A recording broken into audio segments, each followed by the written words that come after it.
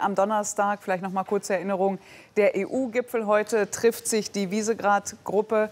Und über all das wollen wir sprechen mit Richard Sulik. Er ist Abgeordneter der Partei Freiheit und Solidarität im Europaparlament, wo er mit der AfD in einer Fraktion arbeitet. Einen schönen guten Morgen. Schönen guten Morgen. Abschotten, Grenzen zu, ist das die richtige Lösung? Ja, es ist äh, auf jeden Fall die einzige Lösung. Es ist nämlich so, die Europäische Union ist keine Solidargemeinschaft, sondern eine Vertragsgemeinschaft. Wir hatten verschiedene Verträge, diese wurden gebrochen, wie zum Beispiel Dublin oder Schengen. Und jetzt haben wir eben das schlechte Ergebnis. Wenn wir aber die Grenzen zumachen, verschieben wir die Probleme der Flüchtlinge im Grunde nur. Haben Sie denn eine Lösung, um Krieg und Elend der Flüchtlinge zu beenden? Ja, das schon. Und zwar äh, diese Hotspots, das ist eine gute Idee, aber sie müssen außerhalb der Europäischen Union sein und nicht innerhalb. Und nicht nur für die Registrierung der Flüchtlinge und anschließende Verteilung über Europa, sondern die müssen dort abwarten, bis über deren Asylanträge entschieden wird. Und diese Hotspots, die muss es, es muss mehrere geben, in, in Libanon, in der Türkei, in Nordafrika und so weiter. Das ist die Lösung. Aber Kriegsflüchtlinge nach den Genfer Konventionen, es gibt noch andere Konventionen, da sind Sie schon dafür, dass wir denen helfen und dass wir die in Europa aufnehmen und auch verteilen? Also nach der Genfer Konvention ist Krieg kein Asylgrund.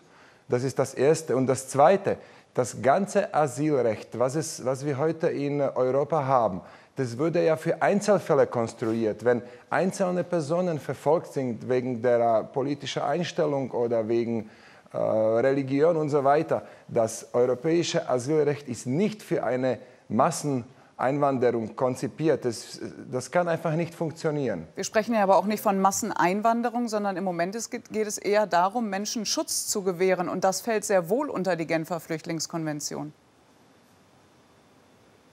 Ja, Wissen Sie, das ist so. Äh, von den 1,1 Millionen Menschen, die nach Deutschland gekommen sind, sind nicht die meisten aus Syrien, sondern irgendwoher aus der Welt. Irak, Afghanistan, Nordafrika und so weiter. Das ist das Erste. Und das Zweite, noch einmal, nach der Genfer Konvention ist Krieg kein Asylgrund.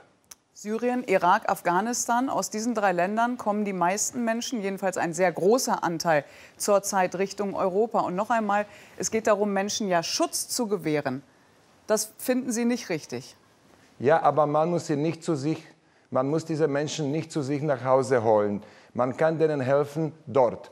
Man kann äh, zum Beispiel die äh, Flüchtlingscamps die, die Flüchtlingslager in der Türkei, äh, die kann man mitfinanzieren, die kann man sogar betreiben. In Libanon, die wären ja sogar dankbar dafür, weil sie dann weniger Kosten hätten. Das muss, die Hilfe soll schon äh, geleistet werden, aber vor Ort, nicht hier in Europa. Das wird einfach nicht funktionieren.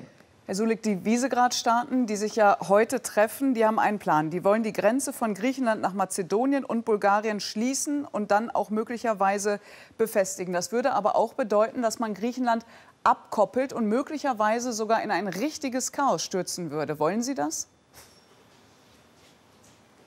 Äh, schauen Sie, Griechenland hält äh, seine Verpflichtungen nicht ein. Das macht Griechenland schon seit Jahren. Äh, nicht nur in den äh, Geldfragen in der Eurozone, sondern eben auch in, äh, was den Schengener Vertrag angeht. Griechenland sollte aus dem Schengener Raum erst einmal ausgeschlossen werden, weil die einfach nicht in Schengen hineingehören. Und jetzt äh, haben Sie gefragt, ob Griechenland in Chaos gestürzt wird. Naja, die haben eine große Armee, eine riesengroße Armee haben die. Sie müssen diese Armee einsetzen, um Griechenland zu schützen. Aber das müssen schon die Griechen selbst tun, weil momentan machen sie gar nichts und hoffen, Europa wird, wie die hm. letzten äh, sechs oder sieben Jahre, äh, für Griechenland sorgen. Aber wie ich gesagt habe, Europa ist keine Solidargemeinschaft, das ist ein Irrtum. Europa ist eine Vertragsgemeinschaft. Und da geht es auch sehr viel ums Geld. Uns hat Achim Griewat getwittert, es wird Zeit, dass die EU den unsolidarischen Visegrad-Staaten die Zuschüsse komplett streicht.